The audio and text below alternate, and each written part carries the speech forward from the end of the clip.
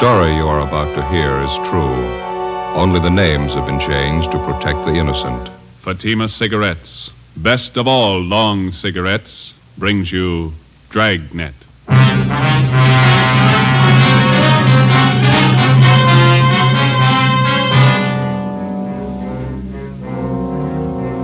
You're a detective sergeant.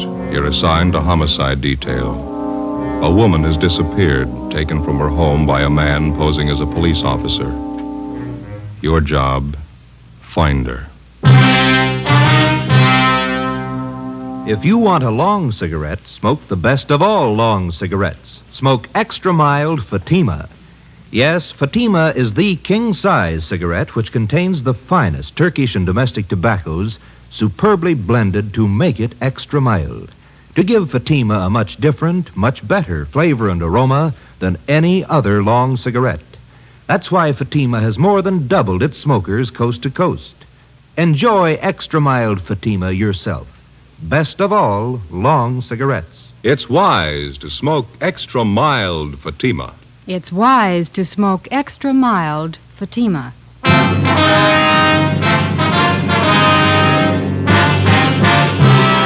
Dragnet, the documented drama of an actual crime. For the next 30 minutes, in cooperation with the Los Angeles Police Department, you will travel step by step on the side of the law through an actual case transcribed from official police files. From beginning to end, from crime to punishment, Dragnet is the story of your police force in action. It was Tuesday, April 4th. It was warm in Los Angeles. We were working the night watch out of homicide detail. My partner's Ben Romero. The boss is Thad Brown, chief of detectives. My name's Friday. It was 10 minutes past 6 p.m. when I got to the basement of the city hall. Carpool.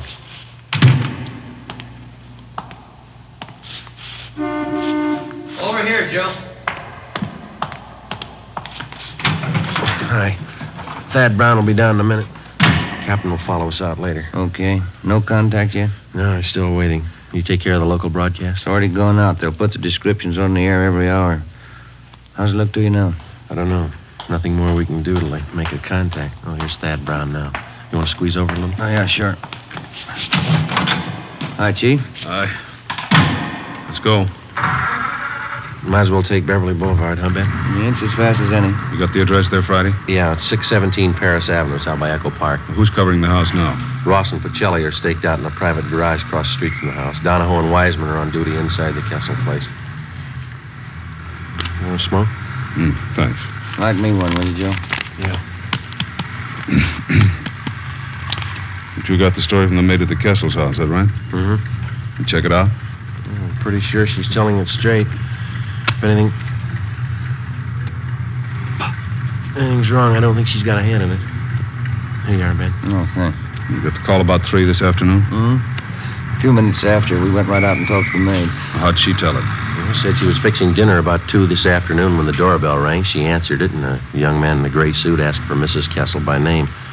He told the maid it was an emergency. Yeah. Well, the maid said Mrs. Kessel came to the door, and the man identified himself as a police officer. Told Mrs. Kessel her husband had been hurt in an accident, and she was to come right away. Man show his identification? Maid said no. Said Miss Kessel just took it for granted he was a cop. Yeah. Go ahead. Miss Kessel got her coat and left with the man. About an hour later, her husband, Professor Kessel, got home. He wasn't hurt. He hadn't been in an accident. He hadn't seen his wife. As soon as he heard from the maid what had happened, he got on the phone and called up. What's the background on the husband, this uh, Professor Kessel? He's supposed to have quite a name. He's a professor of philosophy out at Simmons College, that small school out near Glendale. Oh, yeah. I know. Devout man, president of one of the local synagogues. Sure about the maid story, huh? Sure as we can be. She gave us a good description of the man who picked up Miss Kessel. I got it right here. Yeah. Here. Mm, white male, American, 25 to 30 years old, 6 feet 170 to 80 pounds, gray suit, gray head, brown shoes. How about the car he used? Late model Chevrolet, dark blue, white sidewalls. That's all the maid could tell us.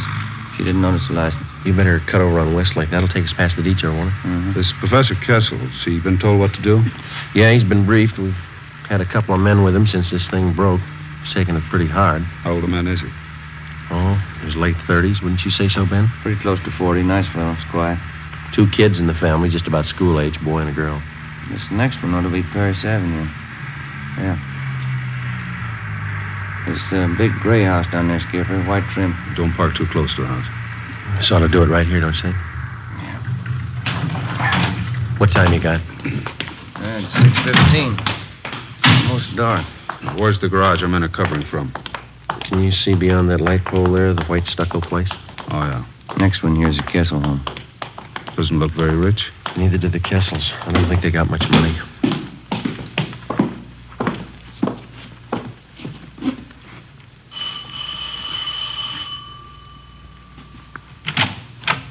Hi, Donahoe. Come in.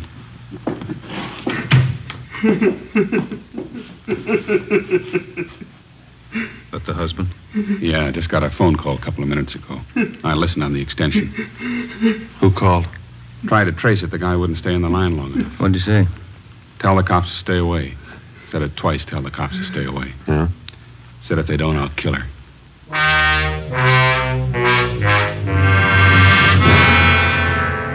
The Kessel house had already been placed under strict surveillance, and the victim's husband instructed not to contact the abductors without knowledge of the police. To the working detective, there's only one rule to go by when the job of solving an abduction is put in his hands. Find the victim as fast as possible, get the victim to safety, then go after the criminal.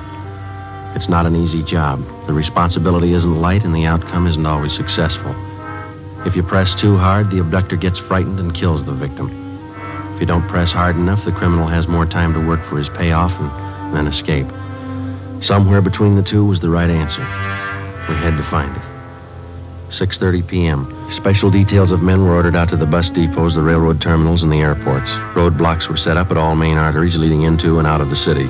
Every branch post office in Los Angeles was covered to watch for possible ransom notes addressed to Professor Kessel. 6:40 p.m. We met in the Kessel's living room. Chief, Wiseman? Professor Kessel will be down in a minute. Says he's sorry to keep you waiting. You feeling any better? A little. Phone call about his wife shook him up a bit. How about those people who came in a few minutes ago? Who are they? Relatives? Half a dozen of them. They're waiting back in the kitchen. How'd they know about Mrs. Kessel? They didn't. They'd been invited to dinner. They didn't know anything was wrong till they got here. Mm-hmm. Kessel asked them to stay for the meal. Wants to keep up appearances for the sake of his kids. Doesn't want them to worry about their mother. The dinner that important to him?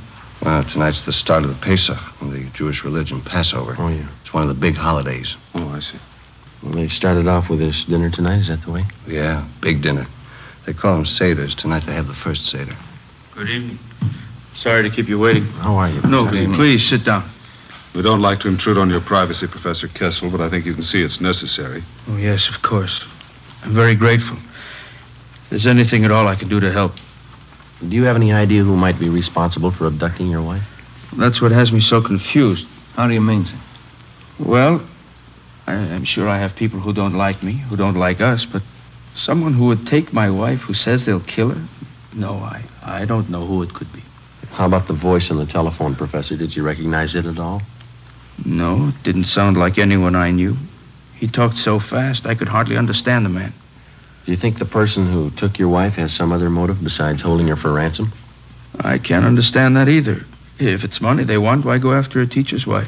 Fifteen hundred dollars in the bank, that's all I have. That and this house. How about your immediate family, Professor? Well, my wife, Ruth, her people have quite a bit. I guess you would call them rich. But it's their money, not mine. I, I can't understand why anyone would do it. Poor Ruth, if anything happened. Children. Albert? I'm sorry. That's all right. We understand. Albert? Yes, Bertha, come in, would you, please? Gentlemen, this is my sister Bertha. She's here with her husband for the Seder. How do you? How are you? Albert, it's late. Sundown. It's time to start the kiddush. Oh, yes. Um, all right, Bertha. You tell everyone to come to the table. I'll be right in. The officers will have the first Seder with us? Yes, Bertha. You, you please set them places. Yes, Albert. Say, we don't mean to intrude here. We can wait outside while you have your dinner. Oh, no, please. I'd be honored to have you sit at the table with us. No one in the house should be without food tonight. First Seder for Passover. It's the law.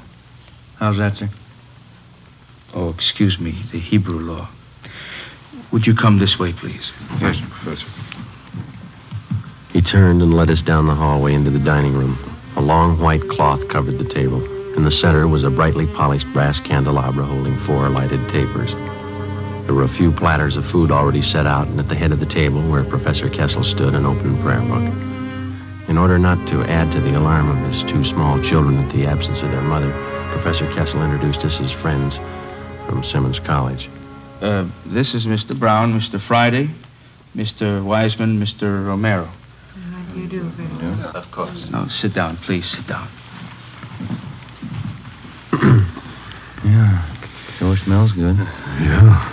Yeah. You got enough room there, Joe? Oh, fine. Say, how's it work, Wiseman? Should we join in the prayers? Not unless you speak Hebrew. Oh. Baruch atah Adonai Eloheinu melech haolam, bo'erei pri hagofen. Baruch atah Adonai Eloheinu melech haolam, שבוך הבונו מכל עום, ורעי ממונו מכל לא שוין, וקדישונו במצווי סוב. ותיתן לנו, ארנוי אלוהינו, ועבור מיידים לשמחו. חגים מוזמנים לסוסוי נסיו עם חג המצויס הזה. זמן חירוסנו מקרוא קודש די חירוסיאס מצרועים. טלפון קול. בואו נבוכר טוב. ניסון הקידש טוב מכל פעמים. מיידי כתף הבסיסו. Friday talking. This is Lacey, Joe. Just got a call from the morgue. Yeah? They brought in the body a few minutes ago. They checked the description. Yeah? They think it's Mrs. Kessel. I went back into the dining room and told Chief Brown about the call. He told Professor Kessel. He said he'd finish as quickly as possible so as not to alarm the children and then go with us to the morgue to check the identity of the body. The prayers continued along with the dinner. Anya Diakolu, son of Bearo de Mitzrayim, kol dichven yese viejo, kol ditzuf yese vivsa, ashato hocho, shona abba de Israel, ashato avde lishona abba b'nei chayrim. John? Yes, Papa. Manish dono halalo azeh, miko halelos shebachol halelos anuchlin, chametzu matzah, halalo hazer, kulo matzah. I'm sorry. Shebachol halelos Excuse me. anuchlin, Sure, you're a cold. Excuse me, I'm sorry. Papa? What was it, Wiseman? What was the boy saying? It's part of the ceremony during the meal. He's supposed to ask his father certain questions about the Passover, and then the father answers him. I guess it was too much for Kessel. Sure broke him up. What'd the boy ask him? Why is this night different from any other night?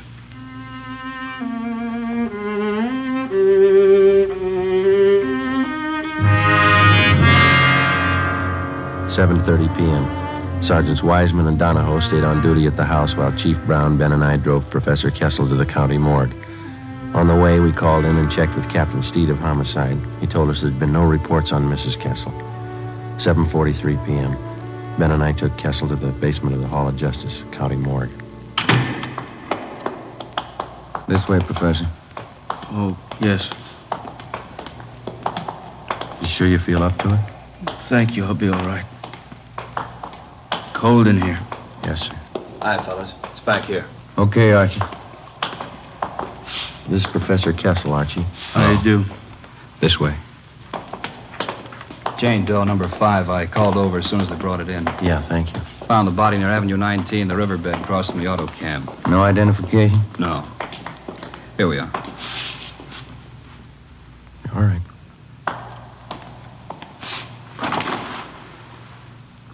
Professor.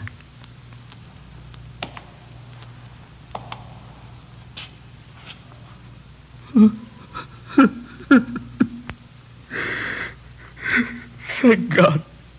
Thank God.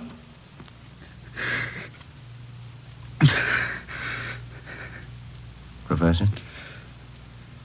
No, it's not my wife.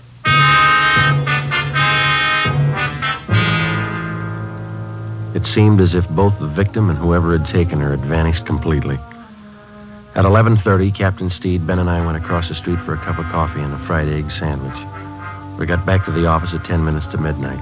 Still no word. At 2 a.m., Ben and I drove back to the Kessel house to relieve Donahoe and Wiseman. We stood our watch in the living room. In the bedroom directly above, we could hear Professor Kessel pacing the floor most of the night. At 5 a.m., Captain Steed called. He told us a letter addressed to the professor had been reported at the arcade post office. As soon as the outside of the envelope had been photographed and checked for prints, it would be brought out for Professor Kessel to open. Front door? Yeah, I'll get it. Chief? Good morning. Hi, Lee. Hi, Joe. In here. Did you lift anything off the envelope, Lee? Nothing we can use, no. Might have more luck with the letter. Good morning. Uh, You brought the letter? It's right here, Professor Kessel. I'd like you to stand by while we open it.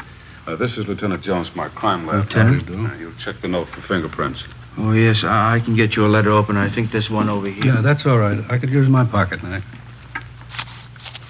You want to grab one corner of the paper, Bannon? Just the tip of the corner. Use your fingernail. Okay.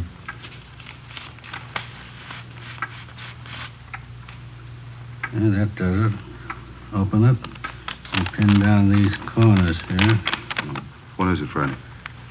Uh, the words are put together with small printed letters.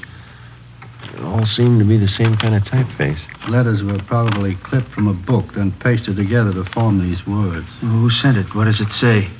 Uh, tonight. Thanks, Lee. If you want to see your wife alive, have 30,000 small bills tonight.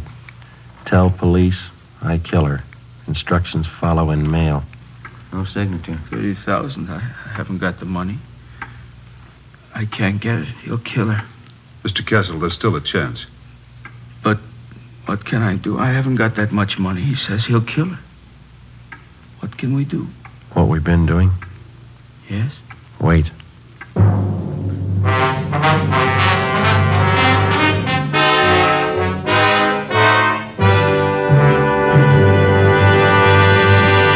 You are listening to Dragnet, the case history of a police investigation, presented in the public interest by Fatima Cigarettes. Fatima, the long cigarette that has more than doubled its smokers coast to coast.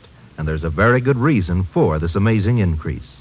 Men and women everywhere are finding out it's wise to smoke extra mild Fatima. I agree, says Lee Silva, news reporter. I agree, says Jean Matson, airline stewardess.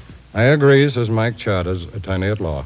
I agree, says Bab Beckwith, fashion stylist. Yes, all agree it's wise to smoke extra mild Fatima. So enjoy extra mild Fatima yourself. The king size cigarette, which contains the finest Turkish and domestic tobaccos, superbly blended to make it extra mild. You will prefer Fatima's much different, much better flavor and aroma. You will agree. It's wise to smoke extra mild Fatima. It's wise to smoke extra mild Fatima. Best of all, long cigarettes.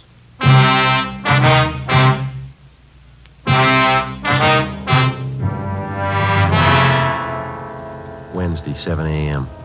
With the aid of an iodine fume gun, Lee Jones checked the extortion letter from Mrs. Kessel's abductor for fingerprints and other marks of identification. He found nothing. The piece of paper on which the cutout printed letters had been pasted was of a common variety sold in most stationery and five and ten cent stores. Jones photographed both sides of the envelope and the letter. 11 a.m. Still no word. None of the special details had anything to report. At 1:45 p.m., another letter was delivered to the house. The envelope was open, the letter removed carefully and pinned down at the corners. It's put together the same as the last one. Yeah. Tonight, 11 o'clock. Come alone, your car. Tell police I kill her. Is there more, Friday? Yeah. Drive corner Lakeshore, Charter Street. Wrap money brown paper. Small bills. Come alone, your car. Put package by fireplug, then leave. Tell police and I kill her. No signature. I haven't got the money. Lakeshore and Charter. That shouldn't be too hard for us to catch. Sounds pretty much like an amateur. That makes it touchy. If he's green, he'll scare easy. If he's scared, he may kill her. Not if we reach him. How can I get the money? You won't need any. We'll have a dummy package made up. There'll be a single dollar bill inside. There's to be newspapers cut to the size of currency. That's what you'll deliver. But when he gets the package, when he finds out it's not the money, what's he going to think? We'll explain it to him. Starting at 10 o'clock that night, more than a dozen cars from the Detective Bureau circled the area around Lakeside Avenue and Charter Street, keeping a distance ranging from three quarters to a full mile away so as not to scare off the abductor. Some of the cars were parked in service stations, some in private driveways. The neighborhood was located in the heart of a new veterans housing project. For a full five blocks in either direction, there were no buildings of any kind where we could keep an eye on the package of fake ransom money. The owner of one of the completed houses nearest the spot on Charter Street was contacted, and he agreed to let us use his home as a lookout point for the stakeout that night. 9 p.m. Ben and I took up our positions on the roof of the lookout house. We were equipped with two pair of night binoculars and a walkie-talkie. I could think of a few other places I'd rather spend the night. How well can you see that intersection from here? Hmm. Comes in fine with these binoculars. The guy shows we ought to see him. Yeah, I better check with the captain again. What time you got? 9.25. Where's the skipper parked? Private driveway near Charter and Hayward. Friday to 105K. Friday to 105K. Come in. Yeah, Joe. Go ahead. Got a clear view of the intersection. Nothing yet outside of cramped legs. You reading me okay? Yeah, Joe. Fine. Over. Roger. Standing by. Sure lucky my kid can't see me now. Why? He'd never understand. Why should his father be sitting on top of somebody's roof late at night? He'd never get it. We waited. Ten o'clock came, 10.30. At exactly 11 p.m., as we watched through our night binoculars, we saw Professor Kessel drive up to the designated location five blocks away, place the fake package of ransom money by the fire hydrant near the intersection, and then drive away. 11.30. We waited. Midnight. 2 a.m. Nothing happened. The package was still lying by the fire hydrant undisturbed. Captain Steed checked with us periodically on the walkie-talkie. At 3:30 a.m., we were still waiting. At a few minutes past 6 a.m., Professor Kessel was directed to return to the intersection, pick up the package, and drive back to his home. His wife's abductor had failed to show. Maybe the suspect had sensed a trap. Maybe he had no idea of showing up in the first place. Maybe Mrs. Kessel was dead. We didn't know. 10 a.m., Thursday. No further contact from the abductor. A special detail from homicide, including Ben and I, were ordered on a door-to-door canvass of the general area around Lakeside Avenue and Charter Street. After seven hours of ringing doorbells and asking questions, we came across a Mr. Harold Olander, one of the longtime residents of the Silver Lake area. We showed him the general description of Mrs. Kessel's abductor. Yeah, that could be Thompson. I don't know for sure, though. Where did you see this Thompson, Mr. Olander? Oh, I saw him lots of times. He rents that cottage of mine down the street there. You see? The white one? Mm-hmm. Does this Thompson have a car? Thompson? Yeah, yeah, new one. I wonder if you could describe it. Chevrolet. Nice looking. Blue color, I think. Could be, Joe. Is Thompson in the house now, Mr. Olander? Nope. Saw him drive away early this morning. I can show you the house if it's official police business. It is. Well, come on, then. I got the key right here. Cottage is just down the block there. See the one I mean? The, the white one? Yes, sir. How long's Thompson been in the house? Two weeks tomorrow. You noticed anything unusual about him? Mm, nothing special. Comes and goes at odd hours, but then a lot of people do. I don't brag. It's this house right here. Does he usually keep all the blinds drawn? Yeah, now that you mention it, a lot of people do, I guess.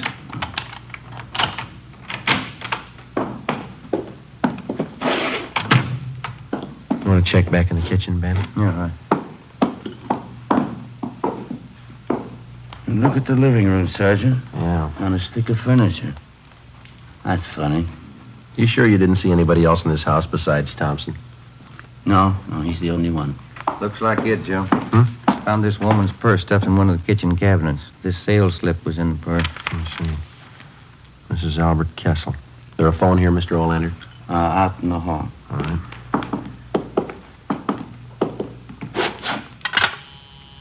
Is still connected? Yeah. Joe, I'll check back in the bedrooms while you're phoning. Right, Ben. No, you better stay with me, Mr. Olander, if you will. Oh, all right. City Hall. Homicide. Homicide? You any idea where this Thompson is now, Mr. Olander? No, he comes and goes. I don't like to pry. Homicide, Steve. This Friday, Skipper, we got one for you. I've got one for you. Hmm? Kessel, she's been found. Mrs. Kessel was unharmed. She had no idea where she had been or why she had been suddenly released. All additional information which she could furnish on the suspect was immediately relayed to the entire state in an APB. Two hours later, at a neighborhood garage Thompson patronized, we got his license number. We ran it through DMV and found the car was registered in the name of Charles Cottrell, 10115 Green Oak Drive, 7 p.m.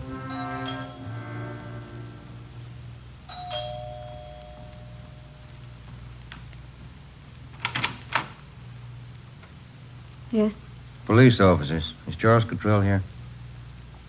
yes. Come in, please. I knew you'd find him. I kept hoping, but I knew you'd find him. Where is he, ma'am? He'll give himself up. I'm his wife. I talked to him. There won't be any trouble. No trouble. Where is he? You've got to understand, he didn't know what he was doing. We needed money. He didn't know what he was doing. We'll have to search the house, ma'am. Charlie! Charlie, come downstairs! Come down!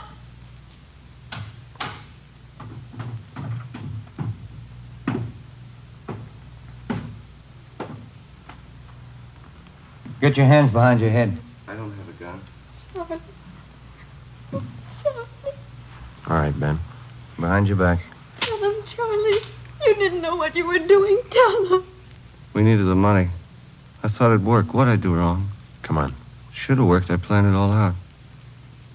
Where'd I make a mistake? When you thought of it. The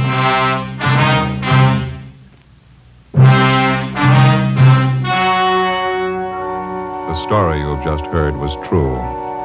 Only the names were changed to protect the innocent.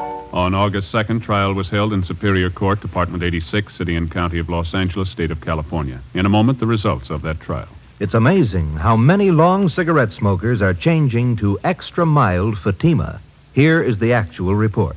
From coast to coast, Extra Mild Fatima has more than doubled its smokers. Yes, more and more smokers every day are discovering that Fatima is the king size cigarette that is extra mild. Extra mild because it contains the finest Turkish and domestic tobaccos superbly blended to make it extra mild, to give it a much different, much better flavor and aroma. Enjoy extra mild Fatima yourself.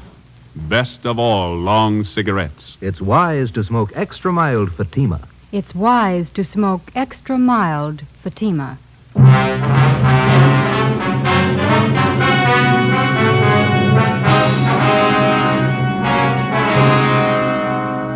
Charles Cottrell was tried and convicted of kidnapping and received the sentence as prescribed by law. He is now serving his term in the state penitentiary. You have just heard Dragnet, a series of authentic cases from official files. Technical advice for Dragnet comes from the Office of Chief of Police W.A. Worton, Los Angeles Police Department. Fatima Cigarettes, the best of all long cigarettes, has brought you Dragnet, transcribed from Los Angeles.